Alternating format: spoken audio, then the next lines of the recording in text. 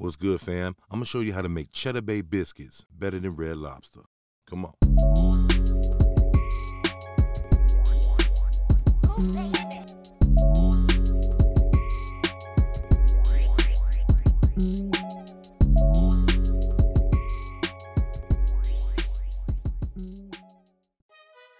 This is a nice one. This is a classic. Cheddar Bay biscuits, real simple to make, minimum ingredients. Right, you're gonna need two cups of all-purpose flour, and the rest of our dry ingredients consist of one tablespoon of baking powder, one tablespoon of sugar, teaspoon of salt, half teaspoon of baking soda, and a half teaspoon of garlic powder. One cup of sharp cheddar and white cheddar mix, 3 fourths cup of whole milk, and six tablespoons of unsalted butter. And we're gonna put the butter in the freezer for about 20-30 minutes before we use it. All right, so the first thing you wanna do is go ahead and preheat the oven to 425 degrees. Let's take all of our dry ingredients and we're gonna mix them together. Mix them really well, nice and thorough. Now, the butter is probably the most important part of the recipe, and the way you handle it can make or break the homemade biscuits. We're going to use a box grater to grate the butter. This helps evenly distribute the butter throughout the mixture without overworking the butter. This is the reason why we freeze the butter first, because you want the butter to be as cold as possible when it goes in the oven. Add the 3 fourths cup of whole milk. We're going to stir it until just mixed.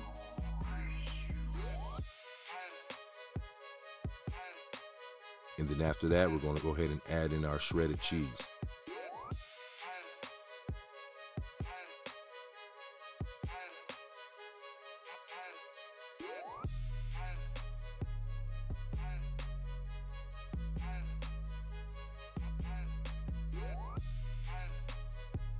Go ahead and clean our surface off nice and good.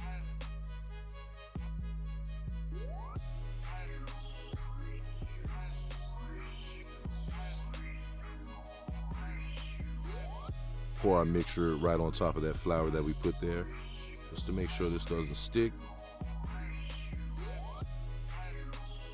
Mash it together until we have a nice flat surface.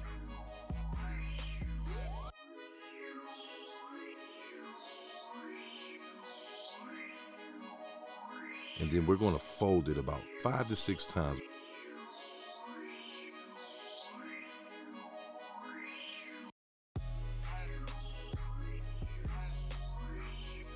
You want to make sure you have a thickness of about of about one inch.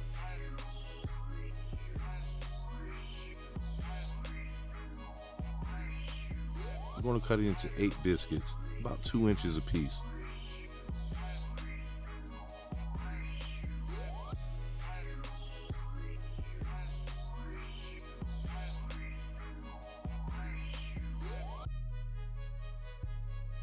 Gonna do it old school style use my hands and form it into a little circle. Really, I don't care what's the shape. I just I just know they're gonna taste delicious. They all set, ready to go in the oven.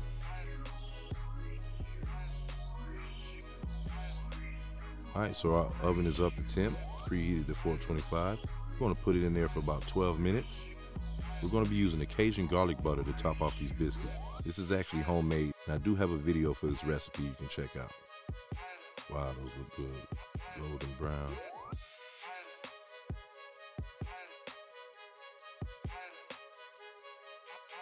So all you gotta do now, we're gonna slap it with some of that Cajun garlic butter, just like that.